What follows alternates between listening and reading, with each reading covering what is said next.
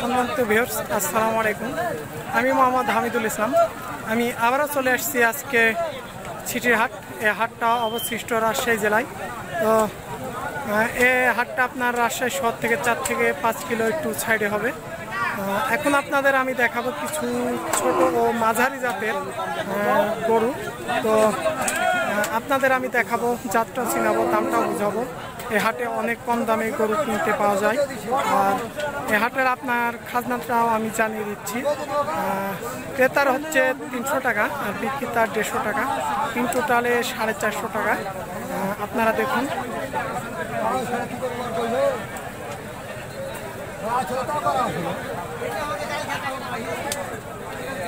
বেঁধে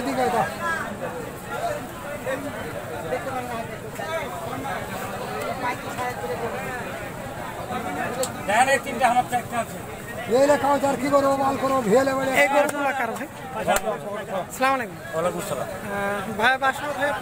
বাসা চাপাইলাগঞ্জ চাপাই নবাবগঞ্জ না? তো আপনার কি থানা ধরে ওঠা? চাপাইলাগঞ্জ আহ, নামটা আপনার বলবেন? মসজিদুল। এগুলা তো ব্যবসার গন্ধ বাসে। ব্যবসার কয়টা নিয়ে এসছেন আজকে? চারটে। নিয়ে আসছিলেন না? তো ভাই এই যে কালো গরুটা দেখছি তো এটা কি জাতের গরু? এটা অস্ট্রেলিয়া এটা অস্ট্রেলিয়ান জাত না? এটা অস্ট্রেলিয়ান মাঝারি জাত দেখেন। তো এটা দাঁত কয়টা? আর দাঁত দাঁত হয়নি। এখনও দাঁত হয় নাই। তো এটা দাম বলছে আপনার? দাম বলছে। কত দাম বলছে পঁয়ষট্টি ছেষট্টি। এটা পঁয়ষট্টি ছেষট্টি হাজার টাকা দাম বলছে।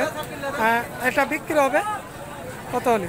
সত্তর হইলে এটা সত্তর হাজার হলে বিক্রি করবে। হয়তো কিছু কম হলে বেচবে। দুই এক হাজার কম বেশি। তো এই লালটা কি জাতের ভাই? লালটা দেশি নেপাল না? না নেপাল না দেশি। দেশি। লালটা দেশি জাতের। এটা তো দাঁতে নাই না? না দাঁতে নেই। এটা দাঁতে নাই। এটা কত দাম বলছে? এটা চুয়াত্তর বাহাত্তর এটা তেহাত্তর দাম বাহাত্তর তিয়াত্তর হাজার দাম বলছে। এটাও সত্তরের মধ্যে বিক্রি হবে। কিছু কম হলে বেচবে। ভাইয়ের ফোন নাম্বার মনে আছে আপনার? মুখস্থ তো নাই ভাই আমার। তো ফোন নাম্বারটা একটু বলবেন আপনি। তো এই যে এগুলা কার ভাই এগুলা এই গরুগুলা? এটা আমার। এটা কি জাতের? এটা দেশি। এটা দেশি জাত। তো এটা কি দামের মধ্যে বিক্রি হবে? এটা ছেষট্টি সাতষট্টি। এটা পঁয়ষট্টি হাজারের মধ্যে বিক্রি হবে। মানে ষাট হাজার টাকা দাম বলছে পঁয়ষট্টি হাজার হলে বলবে বলছে বিক্রি করবে। হয়তো কিছু কম হলেও বেচবে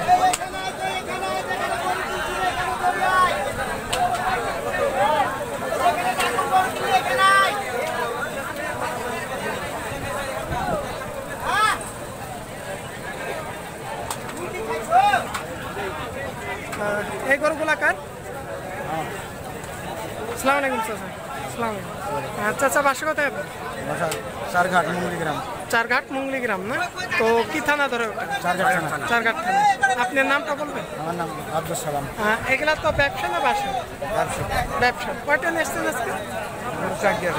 এখানে চারটা গরু আছে আপনার তো এলা কোনটা কোন জাতের আমাকে একটু চিনিয়ে দেবেন? কোনটা কি জাতের গরু আছে আমাকে একটু চিনিয়ে দেবেন? এই তিনটি কস গরু।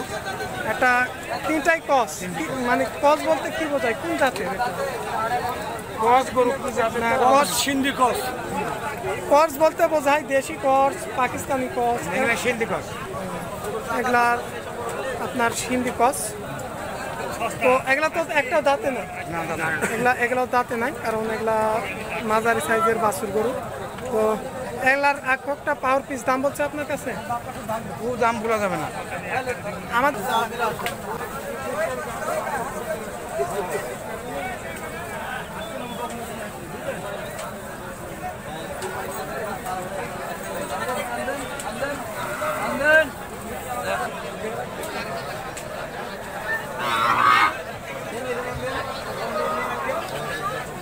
গ- গরুগুলা কার ভাই? সালাম আলাইকুম চাচা। ওয়ালাইকুম সালাম। চাচা বাসা কোথায় আপনার? চারঘাট থানা। চারঘাট থানা। নামটা কি আপনার?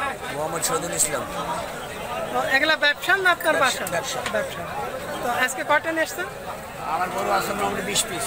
বিশ পিস। তাহলে অনেক বড় ব্যবসায়িক আপনি। বিশ বিশ পিস মাল নিয়ে আসছেন আজকে।